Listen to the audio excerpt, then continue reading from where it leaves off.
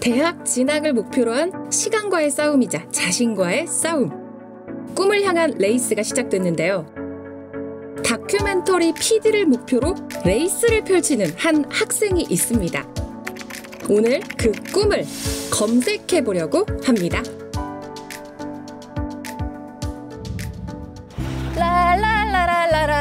저도 고등학교를 다니던 시절이 있었더랍니다 아 제가 고등학교에 온다고 해서 아 옛날 생각도 나고 진짜 얼마나 설렜는지 이렇게 교복까지 입고 왔는데요 아니 근데 여기 와보니까 남고예요 성실히 학문을 갈고 닦는 남학생들의 학교죠. 넓디 넓은 학교에서 뭐 어떻게 학생을 찾는다는 거예요? 오늘의 주인공의 꿈이 다큐멘터리 PD라고 합니다. 아 학생의 꿈이 다큐멘터리 PD예요? 그럼 뭐 학생들 하나씩 다 잡아가지고 다 잡아가지고 꿈이 뭐냐고 막 물어보고 그러면 되는 거예요? 전교생 모두 자신의 꿈을 향해 정진하는 이곳에서 다큐멘터리 PD를 꿈꾸는 학생을 찾아라. 유심히 살펴보면 좋았을 결정적인 힌트. 그냥 지나치고 이 와중에도 철저히 인사하는 예의 바른 우유 당번도 지나치고 꿈이 뭐예요? 저요 저 꿈 군인이요. 칼에 있어요. 싹 교사가 되고 싶어요. 아, 한참을 찾아다니며 마침내 만난 한 학생. 꿈이 다큐멘터리 PD인 친구 얘기 들어봤어요? 아, 네, 사발 있어요. 진짜로? 듣자마자 찾아간 1학년 4반. 이제 이렇게 부끄러워하고 있지만 이제 정말 사군 따뜻하고 일단 전체적으로 반에 좋은 영향을 끼치고 이제 제가 제일 친하다 생각하는 친구가 아닌가 싶습니다. 아 진짜 그럼 좋은 얘기 했으니까 안 좋은 것도 딱 하나만 해볼까 약하게 없는 것 같은데? 코가 좀 크지 않나. 오직 하나 꿈만 가지고 찾아낸 오늘의 주인공 드디어 만난 최경민 학생입니다. 더운 날씨에도 멈출 수 없는 고1의 치열한 레이스 학생부 종합전형에 기말고사에 준비할 것도 많고 어,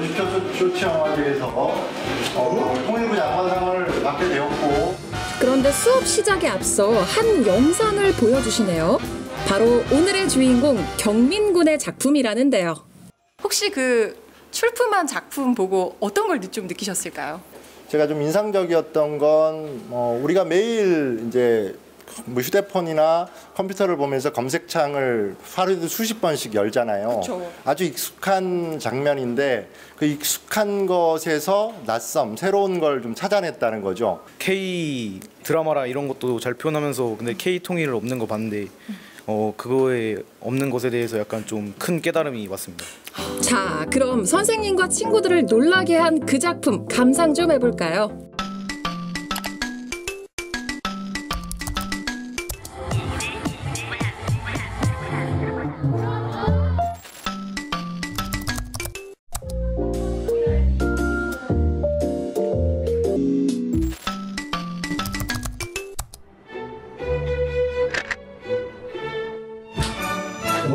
돌아가요? 잘만 돌아가지요.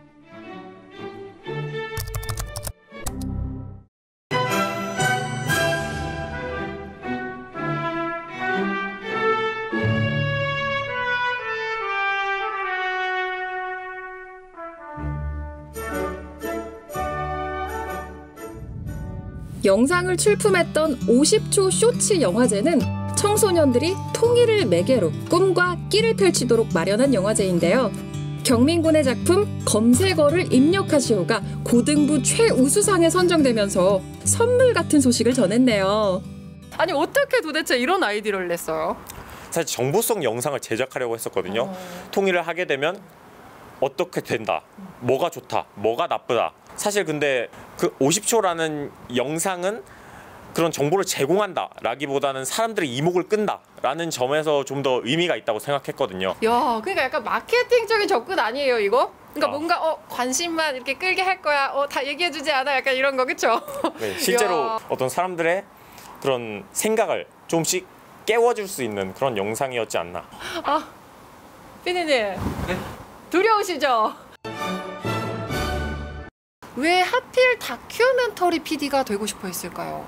제일 큰 목표는 이제 다큐멘터리라는 분야를 좀 더 재미있게 만들자라는 생각이 있었거든요. 현재 많은 사람들이 갖고 있는 그런 고정관념 중에 다큐멘터리는 굉장히 지루하다, 굉장히 재미없다라는 편견이 있는데 저는 그런 부분을 좀 더 빠른 템포와 어떤 재미있는 자막들을 섞으면서 좀 더 재미있게 흥미롭게 사람들의 이목을 끌 수 있는 그런 다큐멘터리를 제작하고 싶습니다.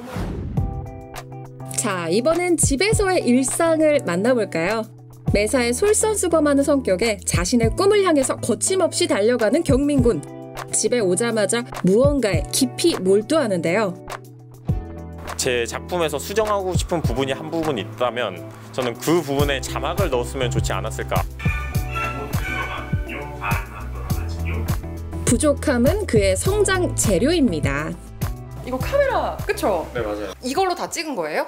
이걸로 찍진 않았고요. 제가 이번에 공모전 나가서 상을 타고 상금을 받으면서 그 상금으로 모두 이 카메라에 쓴 거거든요. 조리개를 만지고 뭐 초점 거리를 바꾸고 이런 처음 듣는 용어들이 생기다 보니까 그런 부분에서 촬영하는데 좀 어려움이 있었던 것 같아요. 그 공모전 영상에서 네. 친구들이 막 영상을 보내줬잖아요. 맞습니다. 어, 그 친구들은 뭐 어떻게 섭외를 한 거예요? 어 사실 그 친구들은 지금 제가 다니고 있는 고등학교 친구들은 아니고요. 어린 시절 국제학교를 다닌 경민이는 특유의 활발한 성격으로 다양한 친구들과 오랜 시간 우정을 쌓아왔는데요. 이번 영화제에 출품한 작품은 여러 친구의 도움으로 함께한 멋진 결과였죠. 좋은 성과를 거뒀잖아. 다음에 또 뭐 영상을 만들 때 뭐 아이디어가 생기면 도움을 요청해도 좋지 않을까 하는 생각이 드는데 어때 생각해? 야 그거는 야 언제든지 불러와도 되고 물론 춤이면은 이제 어 좋아. 언제든지 아, 미래의 능력 있는 PD의 모습이 그려집니다. 아드님 학교에도 가보고 그랬는데 반장도 하고 막 능력도 많고 끼도 많고 어쩜 그런 아들을 두셨어요. 네, 저희는 저희 안 닮았다고 신기해하고 있어요. 우리랑 좀 다른데? 아 진짜요? 어, 아니 앞으로 벌써 꿈을 정했어요 거의 다큐멘터리 PD가 되고 싶다고. 어, 지금 굉장히 진지하게 생각하고 있는 것 같기는 하고 계속 이 꿈을 본인이 이렇게 실천하고 한다면 저는 뭐 굉장히 응원하고 뭐 정서적으로도 지지를 해주고 싶고 물질은 많이 부족하겠지만 물질적으로도 네 너의 꿈을 응원할게. 야.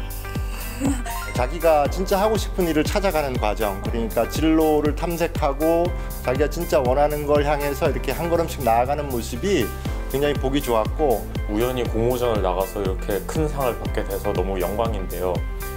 어, 앞으로도 꾸준히 이제 영상 만들고 기회가 되면 공모전도 나갈 계획이니까 꾸준히 봐주시기 바랍니다. 맞아요. 꿈을 향한 여정에서 가장 중요한 것이 바로 꾸준함 아닐까요? 즐기는 마음으로 도전하고 도전하면서 성장해가는 시간. 오늘도 그 꿈에 한 발짝 더 다가갑니다. 미래 PD를 만난 김에 짧은 영상 하나 만들어 봤거든요. 뭐 오늘 촬영해요 피디님? 네, 손으로 찍으러 가야죠. 근데 피디님 있잖아요. 제가 요즘에 굉장히 잘 나가는 피디님한테 섭외를 받았지 뭐예요. 일단 피디님 안녕.